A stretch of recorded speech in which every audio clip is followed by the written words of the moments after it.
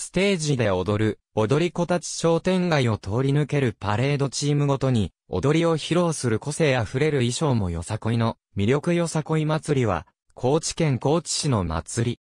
毎年8月9日の前夜祭り、8月10日と8月11日の本祭、8月12日の全国大会と五夜祭の4日間にわたって開催される。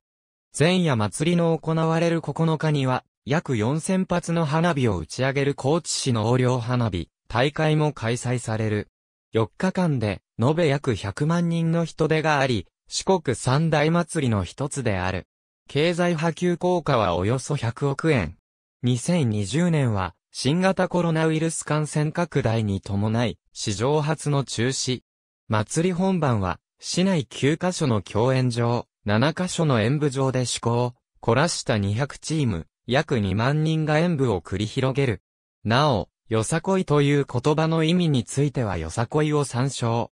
1954年、徳島の阿波踊りに対抗する形で、高知商工会議所青年団により、第1回よさこい祭り開催、南国高知産業大博覧会にて、よさこい踊りが初披露されている。祭りは、パレード形式で開催されるが、地方車と呼ばれるトラックに、PA 機器を搭載し、踊り子がその後ろに連なって、よさこい踊りを舞い、各演舞場を順番に回っている。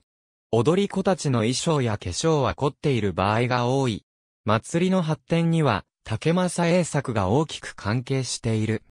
竹正は、踊りに用いられる楽曲、よさこい鳴子踊りを担当するのみならず、鳴子を手に持って鳴らすことを思いつき、現在でもよさこい踊りの重要なアイテムになっている。また、当初のよさこい踊りは、現在、成長と呼ばれる、日本舞踊の振り付けを踏襲した盆踊りスタイルで、あったが、竹正が、楽曲の自由なアレンジを許したため、その後いろいろなバリエーションを生むことになった。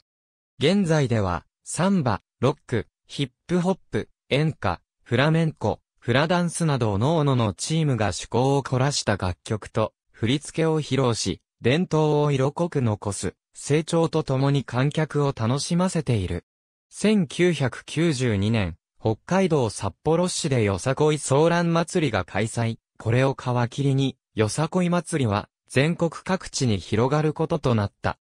戦後に発祥地から全国各地に広まった祭りとして、仙台七夕発祥の装置集約型の商店街、イベントである七夕祭りがあるが、よさこい祭りは踊りが中心であるため、装置集約型に比べて主催者側の支出が少ない、参加者集約型の都市イベントであり、よさこいソーラン祭り以降、地元の民謡となる子を手にしたよさこい祭りが急速に各地で普及している。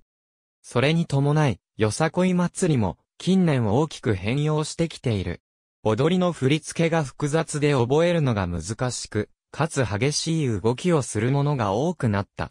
老若男女を問わず、楽しく踊りに参加できる形式への模索、実践が続いている。大会期間中は、高知放送をはじめ、県内民放全局で生中継される。NHK で1990年代初期と2000年代前半に BS で生中継を実施していた時期があった。